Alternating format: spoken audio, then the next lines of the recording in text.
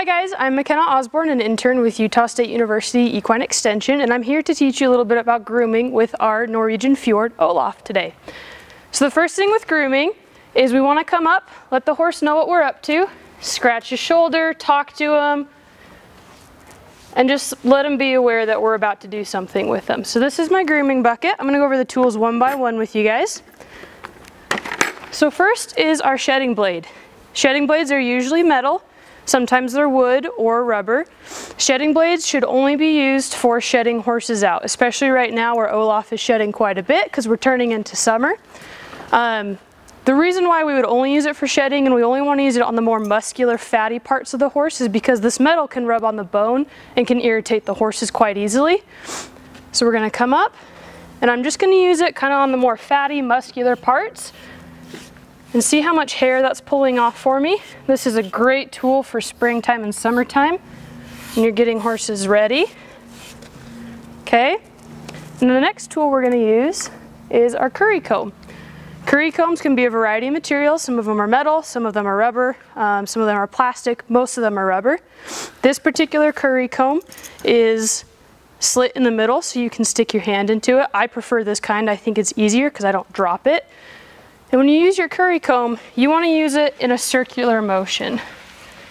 The circular motion allows to one, get dirt and dust and hair up out of the coat, and it also allows um, stimulation of the hair follicle on the horse.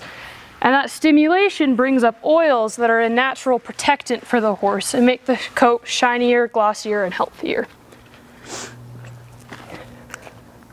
Our next tool is a hard bristle brush. It's got really, really stiff bristles, and this is to help brush away all of that dirt that you just brought up with your circular motion of the curry comb. I brush in the same direction as the hair, all the way down his body, and all the way around.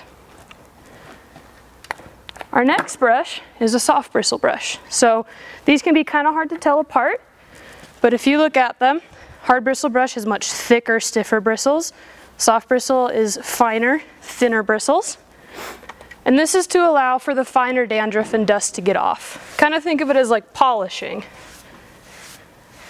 And when I groom, I like to keep my extra hand that's not holding a brush on his body, kind of as a warning.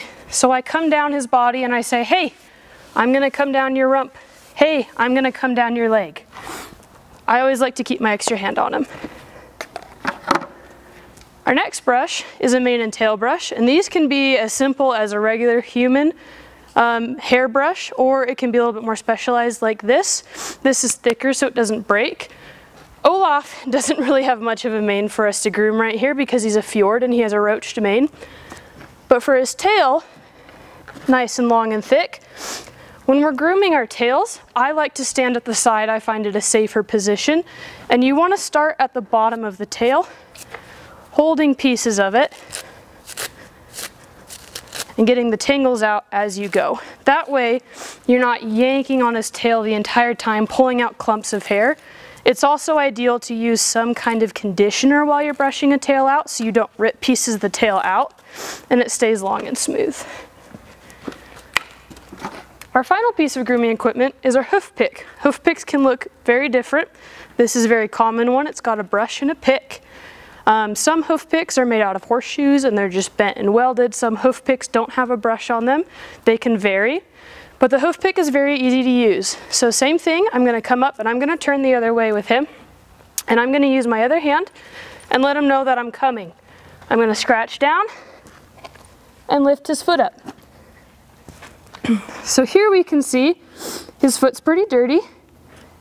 Pointing the pick away from me so I don't accidentally get myself or fling dirt onto myself. I'm gonna go along his frog right here in the middle and all the way along the outside of his hoof and try really hard to get all these rocks out. And this is where I really like that brush because it can help me see just a little bit better. The reason that we want to clean their hooves out, and you should clean your horse's hooves out as much as you can, is because it prevents abscesses and other issues of the hoof. If there's a rock in the hoof and it gets stuck in here and you go riding with your horse a lot and it gets stuck, it'll travel its way up through the hoof wall and cause an abscess, which will make your horse lame. So for our hind feet, a little bit different the way I hold, but I still let him know I'm coming. So I grab his leg, and his leg bends a different way for the hind, but it's still the same thing, right? Picking away, making sure I'm getting all of those rocks out, and paying very close attention.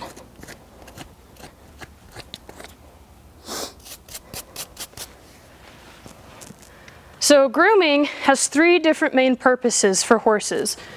It is relational, so horses groom each other when they're out in pastures, and grooming is a chance for you to bond with your horse and learn more about your horse and also stimulate your horse. Scratching them on their withers right here has been proven to release endorphins, and so doing that sometimes with your curry comb, I like to do that, the horses really get into it and they'll stick their necks out and put their lips up and they really enjoy that.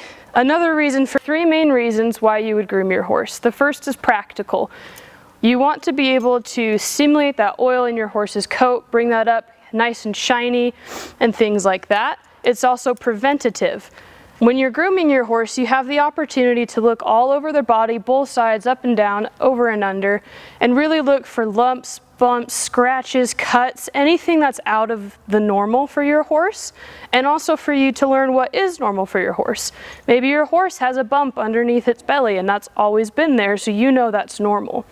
It's also relational. Horses always groom each other when they're out in the pasture if they're buddies.